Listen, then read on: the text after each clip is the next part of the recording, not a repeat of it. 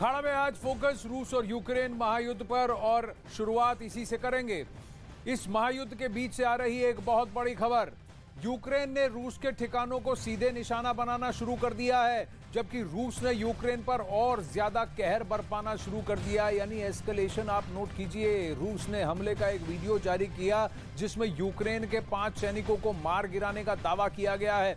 इसके अलावा, रूस ने एक और वीडियो जारी किया है, जिसमें उसने दावा किया है कि पश्चिमी देशों ने यूक्रेन को जो हथियार सौंपे हैं, उसकी एक बड़ी खेप रूस ने जब्त कर ली है। देखिए ये डिटेल्स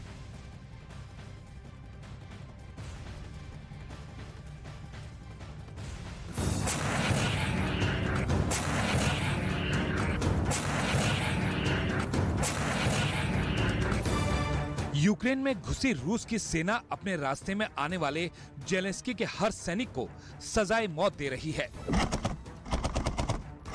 रूस की फौज यूक्रेन के सैन्य ठिकानों पर मौत के गोले बरसा रही है। यह वीडियो रूस की सेना ने जारी किया है, जिसमें एक टैंक यूक्रेन की ज़मीन पर आगे बढ़ता हुआ नज़र आ रहा है। ये टैंक लगातार गोले दागते हुए आगे का रास्ता तय कर रहा है। रूस ने दावा किया है कि उसे यूक्रेन के सैनिकों के एक ट्रूप का पता चला था, जो उनके टैंक की रेंज में था। इसके बाद रूस ने दुश्मन के ट्रूप को निशाना बनाते हुए मौत के गोलों की बोछार कर दी। रूस ने इस हमले में यूक्रेन के पाँच सैनिकों के मारे जाने का दावा किया है। दरअसल, रूस पहले जंग के वीडियो जारी नहीं करता था। जबकि यूक्रेन की ओर से सोशल मीडिया पर युद्ध का रोज़ाना अपडेट दिया जाता है।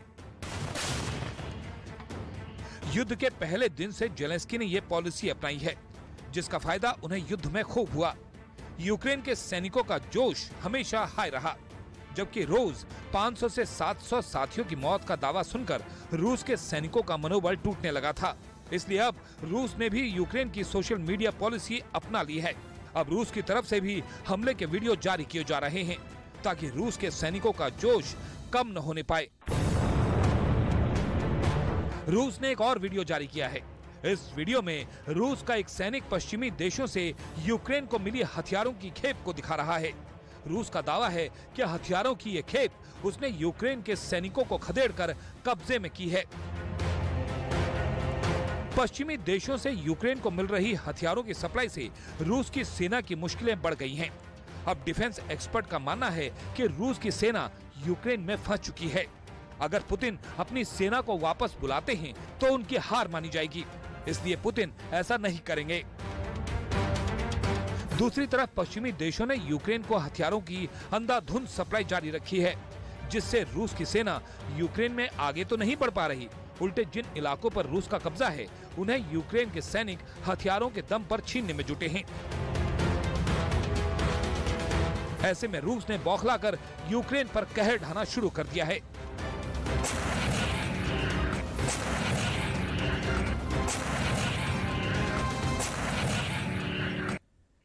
युद्ध यानी तबाही, बर्बादी और बारूद। इस युद्ध में रूस और यूक्रेन ही नहीं, दुनिया ने भी आर्थिक नुकसान झेला है और कई देशों को इसकी मार काफ़ी महँगी पड़ रही है।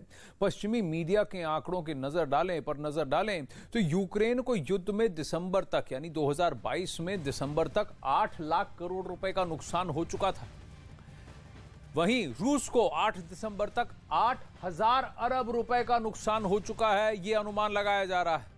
वैसे इस युद्ध से दुनिया के दूसरे देश भी अछूते नहीं है और युद्ध में पूरी दुनिया का अब तक पूरा अगर आप देखें डायरेक्ट और इनडायरेक्ट कॉस्ट नुकसान।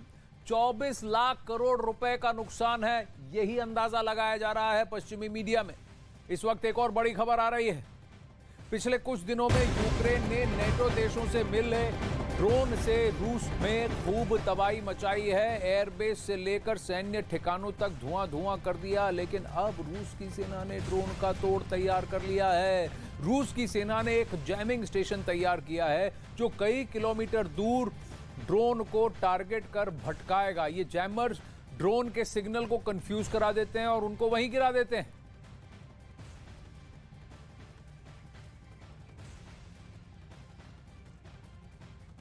अब वहीं पुतिन ने युद्ध के बीच ऐसी रणनीति बनाई है कि यूक्रेन के हमले हवा में ही ठहर जाएँ। इसके लिए उन्होंने रूस के आसमान में हमलों को रोकने के लिए ऐसा अभेद किला तैयार किया है, जिसे भेदना जेलेंस्की की सेना के लिए आसान नहीं होगा। असल में पुतिन के लिए बड़ी चुनौती इस वक्त यूक्रेन के जवाबी हमलों से निपटना है, और इसके लिए व्लादिमीर पुतिन ने जो रणनीति बनाई है, वो बेहद चौंकाने वाली है। दिखाते हैं आपको ये रिपोर्ट।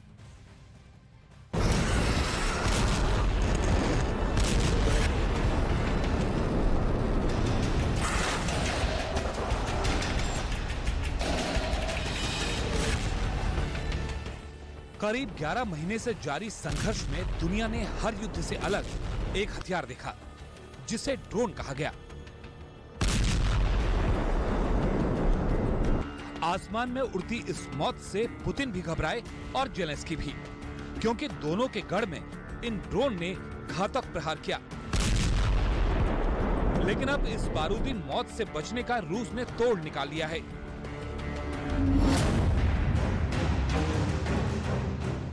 रूस की सेना ने यूक्रेन के ड्रोन को ट्रैक करने के लिए जैमिंग स्टेशन बनाया है।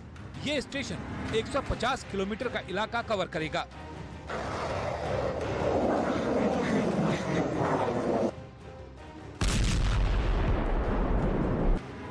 महायुद्ध में रूस को ईरान से शाहिद 136 ड्रोन की एक बड़ी खेप मिली, जिसने तबाही का इतिहास गढ़ दिया।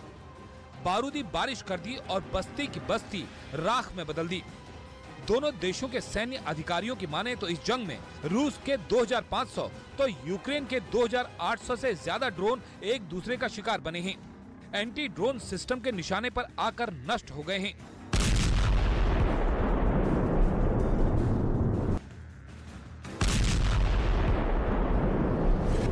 जंग में रूस के घातक ड्रोन यूक्रेन की सुरक्षा भेद कर टारगेट से टकराए और तबाही मचा दी।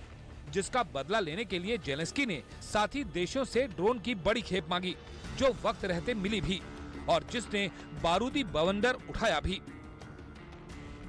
नेटो के किलर ड्रोन से बचाएगा।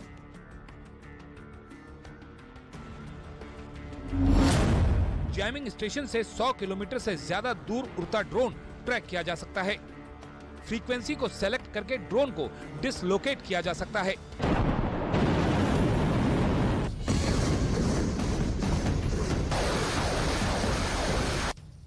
यानी जैमर के ज़रिए दुश्मन के ड्रोन को ट्रैक से भटका दिया जाएगा और दिशाहीन ड्रोन ज़मीन पर गिर जाएगा।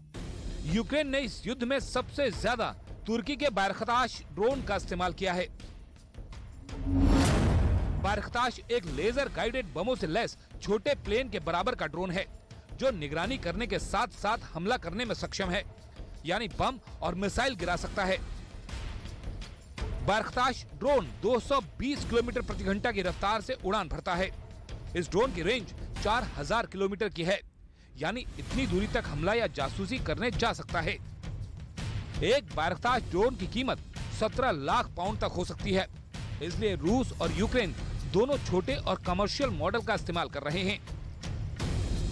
रूस के खिलाफ युद्ध लड़ने के लिए नेटो देश लगातार यूक्रेन को नए नए हथियार दे रहे हैं। ड्रोन के इस दम ने यूक्रेन को रूस के खिलाफ कई मोर्चों पर मज़बूत किया था। लेकिन अब रूस की सेना ने ड्रोन का तोड़ और अपने आसमान के लिए कवच तैयार कर लिया है, जो युद्ध में उसे मजबूती देगा।